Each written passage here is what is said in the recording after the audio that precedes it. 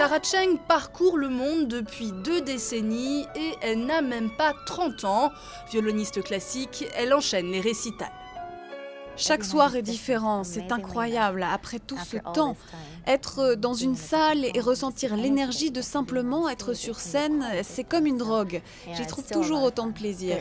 Il y a une certaine pression, mais c'est plus de la pression que je me mets moi-même sur les épaules en cherchant à faire aujourd'hui un meilleur concert qu'hier et demain je dois toujours faire mieux.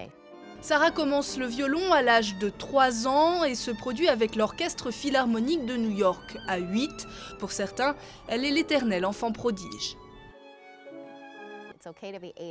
Être appelé prodige à l'âge de 8 ans, c'est normal, attendu. Mais ensuite, quand vous avez 18 ans et que cette étiquette vous suit encore, et puis qu'à 28 ans, elle est toujours là, vous réalisez qu'elle ne vous quittera jamais. Sarah est une de ces incroyables forces de la nature.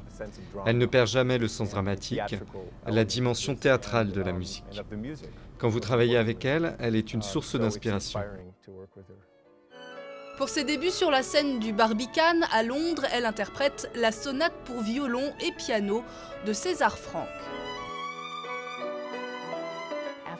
Après toute une vie d'expérience, d'agitation et d'émotion tous azimuts, à la fin, vous êtes en paix avec vous-même. Et cela vous renvoie au beau moment de votre vie. Je crois que c'est pour cela que le quatrième mouvement est mon préféré. Et à 29 ans, Sarah Cheng a encore toute une vie devant elle pour connaître d'autres très beaux moments de musique.